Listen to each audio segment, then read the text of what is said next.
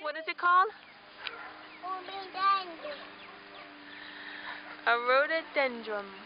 Look at them. Look at them over there. More? Let's go over here and look at these. Oh. Is it more rhododendrons?